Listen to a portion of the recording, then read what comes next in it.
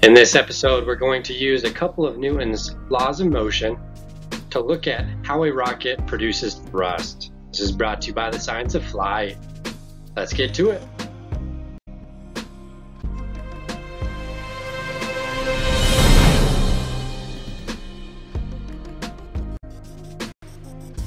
To understand how a rocket is producing thrust, we're going to first look at Newton's third law of motion.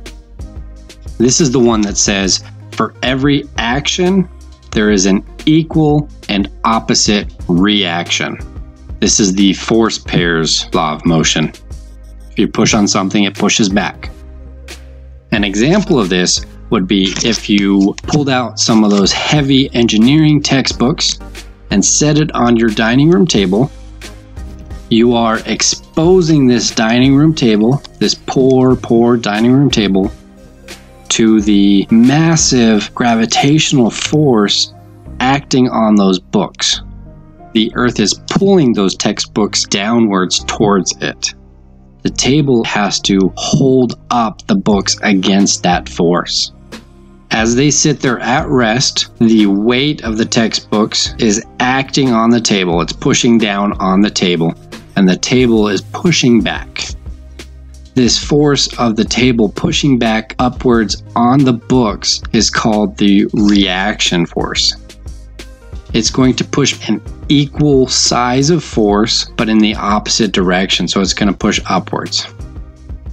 And this is how the table is holding up the books against the force of gravity trying to pull those books down to Earth. Let's say we're looking at a chemical rocket and we're actually burning fuel to produce thrust.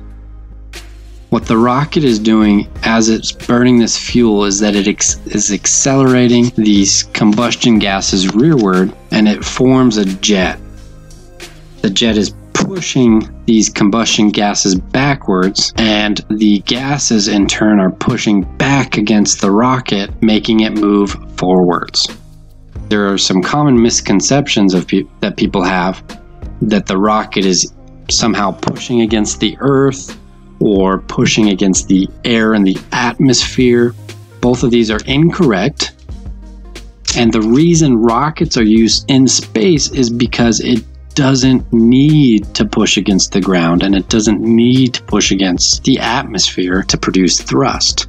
In fact, it's actually easier to produce thrust in space, or more specifically in a vacuum, because it's easier to expel the gases out of the back of the rocket. And as we'll see in the general thrust equation, either in the next video or the video after, a higher exit velocity will lead to greater thrust. Now we're going to go ahead and turn our attention to the jet that comes out the back of the rocket and try and understand this force that the rocket is creating. To do this, we're going to look at Newton's second law of motion. This would be the F equals ma law, and it comes from the idea of conservation of momentum.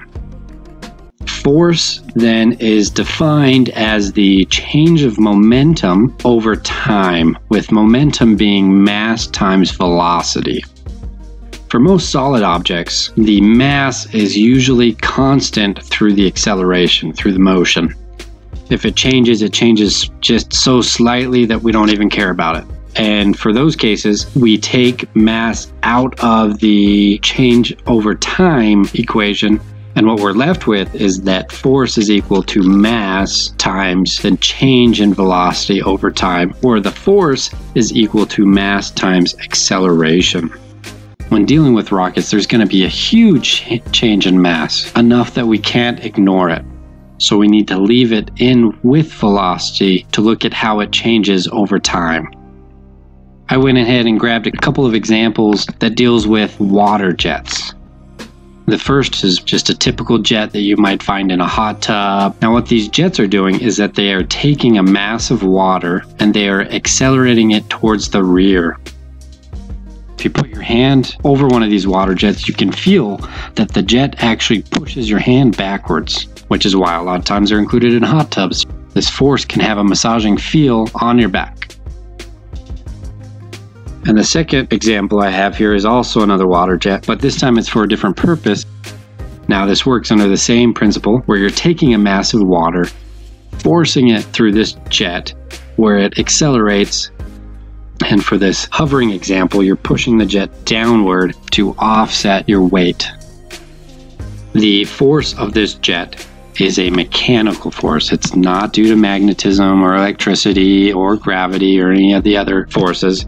It's a pure mechanical force. You're pushing this working fluid out of a jet and accelerating it, and the same thing is true of a rocket. For instance, for a combustion rocket, you might be burning the gases, pushing them through a nozzle with a throat in it, where you're accelerating it, thereby creating this jet or backward force. And as we discussed on the previous slide, the thrust is a reaction force to this backwards jet force that we're pushing out the back of our rocket. I went ahead and put together an example that I'm hoping helps to clarify how the third law of motion and the second law of motion both explain how a rocket produces thrust. And to really give you an, a physical example of what's happening, since it can be a little hard to wrap your mind around at first. Now, for this example, let's say it's Friday night and you decide, hey, what better thing to do on a Friday night than go down to my local hardware store and buy a bunch of anvils? Anvils, of course, are these very big, massive, heavy tools. So you go down to the hardware store, you load up a shopping cart full of anvils, and the lines are busy, so you decide to play around for a little bit. So you decide to go ahead and sit on the shopping cart, pick up one of the anvils, and throw it. Now, I know what you're thinking. This is totally what everyone does on Friday night. Now, what's going to happen to you? Let's take a look at it from a third law perspective and a second law perspective. From a third law perspective, we see here on the left, when I'm throwing the anvil, I am using my muscles to exert a force on the anvil. This force that I'm exerting on the anvil would be the action force. And from the third law, we know there is a reaction force equal and opposite to the force I exert with my muscles. The idea being that if I'm pushing on the anvil, the anvil is pushing on me. And since I'm sitting on this cart full of anvils, it's pushing on me and the cart and all the anvils together in the opposite direction as the force that I threw the anvil. Take a quick second to think about it. Obviously, the anvil is going to move backwards because I just threw it. But what about me sitting on top of the cart? Am I going to sit still? Am I going to move? Why am I going to move? How far am I going to move? Am I going to move as far as the anvil? Am I going to move farther than the anvil? Am I just going to stay still and the anvil is going to move? To understand the motion that would happen due to these reaction forces, we actually need to separate the objects look at them individually in a free body diagram to see what all the different forces are acting on both objects. Looking at the anvil, there's a weight object that's pulling it down, but we're just going to neglect that for right now. We're not looking in that direction, we're looking at the horizontal direction. If we look at the horizontal direction, this action force that I applied to the anvil would be pushing it to the right and the only resistive force to that would be air drag, which is probably not going to be that important. So we're just going to ignore it and say that it's so small we don't care about it. To understand the acceleration of the anvil to the right, we use the second law of motion, F equals ma, and use this net force to the right and the mass of the object and determine it's going to accelerate to the right. This is what we already knew it's pretty intuitive that if I throw it, it's going to be moving in that direction. Now, what might not be intuitive is what's going to happen to me sitting on top of this cart. We know from the third law that when I pushed on the anvil, the anvil pushed on me and the cart and everything in the cart. So, what we have is this force that is pushing on us to the left. We do in real life have some forces that's going to resist this force, for instance, we're going to have friction in the bearings and wheels. Since we're talking about rockets, we're not really going to have these wheels and the ground and all that friction to deal with. Uh, so we'll just ignore it here in our example. So really, I'm having this force that is pushing me in the cart to the left with nothing really resisting it. I mean, I got some air drag, but like we talked about before, for this instance, it's very small. Since there is a net force on me and the cart, me and the cart are going to accelerate to the left. Now, when I asked you how far I was going to go if I moved, I was really hinting at this idea that there's a difference in mass between the anvil and myself and the cart and all the other anvils I have in there to purchase.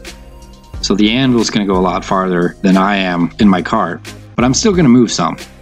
Now, what's going to happen if I pick up another anvil and throw it? The anvil is going to fly backwards, and it's essentially going to be pushing me forwards a little bit at a time. Since I loaded up and I've got a handful of anvils in my cart, if I pick one up and throw it, pick one up and throw up, pick one up and throw it, I can essentially start propelling myself forwards by throwing the anvils backwards, right? By forcing this mass to the rear. And this is the idea of how a rocket produces thrust. So when a rocket is burning and and, and creating this jet of combustion gases is throwing this mass of gas backwards. Now, the mass of the gas isn't very big, there's not a whole lot of mass there. But the rocket is producing thrust because it's throwing it at very high velocity backwards, and as it's burning, it's throwing more and more and more and more. So it just keeps throwing, throwing, throwing, throwing this small amount of mass at high velocities rearward. And so that's creating a huge momentum, right? Momentum is mass times velocity. It's creating this huge momentum or force backwards. And due to Newton's third law, we know that there is a reaction force of the same momentum pushing the ship forward. And that is what we call thrust. Now there's something else to notice in this example. As I pick up an anvil and throw it, the mass of me plus the cart plus everything in the cart is actually decreasing as well.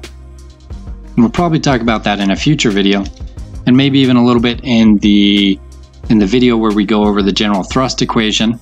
Just keep that in the back of your mind. All right, we're going to go ahead and end the video here. In the next video, we're going to look at the different types of rockets. And in the video after that, we're going to be looking at the general thrust equation. I will see you in the next video.